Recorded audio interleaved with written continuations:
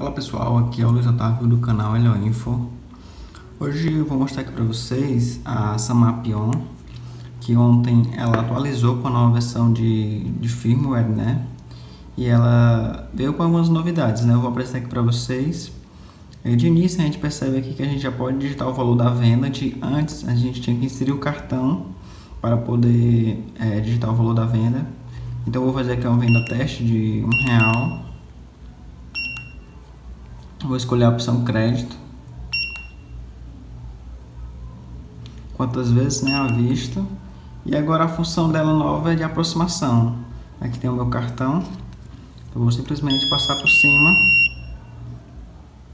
É, não foi autorizada porque eu já fui feito por uma transação há pouco tempo, desse mesmo valor com esse cartão. Ele não autoriza.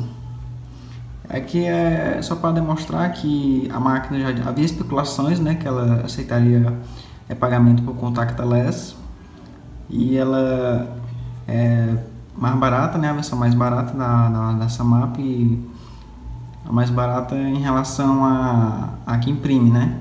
Ela tem todas as funções, com, tem o, o chip de dados, né, que já vem incluso, tem Wi-Fi.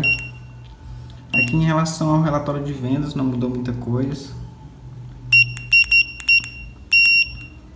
Você pode remover o som, né? Ficar melhor, digitar o valor da venda. E é isso aí. Gostei bastante da nova função. Atualizou ontem. Se você utiliza ela, você já pode atualizar também, vai aparecer na tela quando você ligar. Se você gostou aí da novidade, deixe seu like se tiver alguma dúvida. É, deixa um comentário aí. Eu vou deixar o link aqui também na descrição para quem quiser adquirir a máquina. Valeu!